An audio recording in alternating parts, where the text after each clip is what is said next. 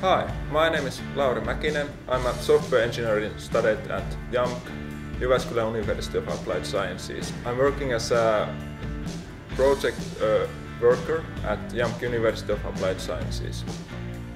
My main responsibility is to uh, fabricate a report for Cybertrust research program and also uh, act as a head coach on the WIMMA Lab student project.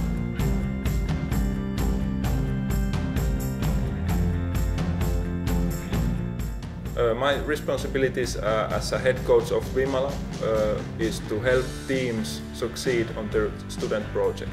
I enable teams to form their own team purpose and their values and rules and by being with the teams and talking constantly about how the team functions, uh, I help the team members to form a view on how team dynamics work on a real working situation. Also as a head coach I try to keep teams focused on the, on the project and try to get teams to really think about what are the deliverables they need to get from this project and how they can reach them. And of course my responsibility is to remove the stupid obstacles that come along the way that aren't the responsibility of the team but are like because of the facilities or because of the young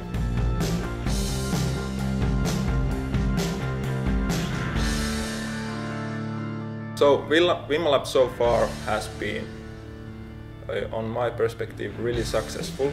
Of course, we've had a lot of major obstacles for the teams. They have had really big challenges and roadblocks.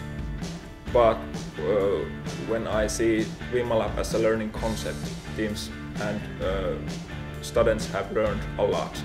So that's like the main issue I'm looking at as a WIMMA Lab coach and I of course hope the students get the results they were looking for to get this summer. But the learning experience it's been it's been great so far.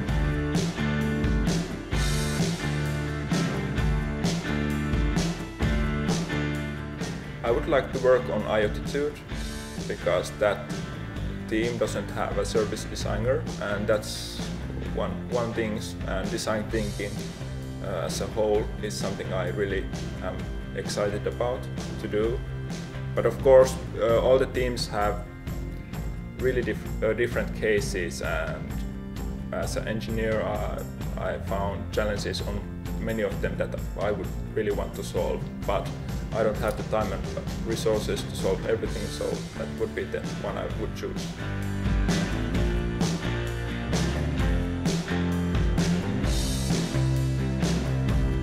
Well, first of all, I'm really interested in a lot of things. I'm really interested in software engineering and on project management, management and product management. And also, I'm really interested in service design and design thinking because I think that today's technological advantages aren't uh, helpful helpful for peop people if we don't understand the uh, needs and pain points of our customers. So that's why I think the service design comes first and then comes the software engineering.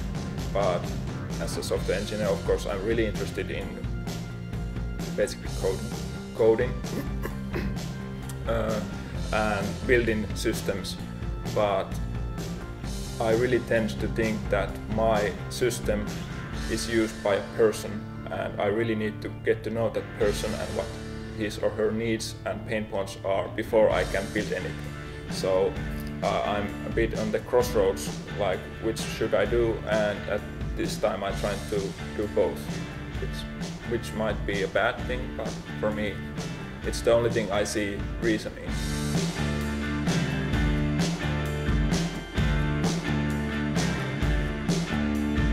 I've been a team leader for many projects so far at school and outside of school, but this time I got a chance to lead different projects and be a bit uh, have a bit more higher level of management on my shoulders. And that's been really a new new area for me. So management of different projects at the same time and working the dependencies that these projects have in between each other.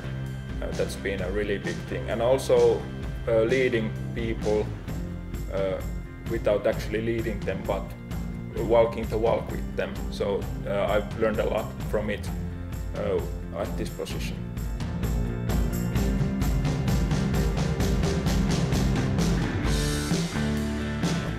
Of course, I would recommend WIMMA Lab for any student because last year I was a student here working on my training and now I'm an employee on, on the JAMK, JAMK leading the WIMMA Lab and I, I've seen both sides and I've seen the real value that WIMMA Lab gives to students working on a real work-life uh, environment.